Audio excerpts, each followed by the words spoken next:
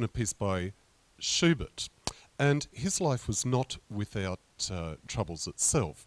In fact, he fell in love with this, this fabulous woman who was the most gifted uh, pianist of her time, uh, Clara. And he decided that he would marry her. And he was 29 at the time. And so, uh, because we're talking 1839, uh, he approached her father and he said, absolutely not. So Schumann, not being daunted by this, wrote some music that he dedicated to Clara. And uh, this is one of those pieces.